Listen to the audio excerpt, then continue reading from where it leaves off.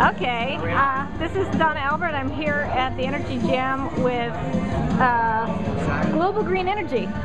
so, Hi, I'm Zach Butler with Okay. Global Green Energy, and we design, install, and manufacture solar products here in Thurston County. We're trying to get regional areas to educate folks about how they can create their own energy with solar panel installation.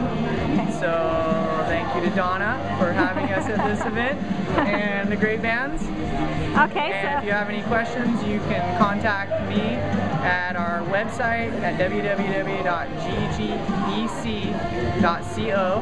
And up and coming will also be Global Green Energy Corp, C-O-R-P.com.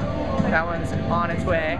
And you can contact us at 360 491 9901. Okay, thanks. Thank you.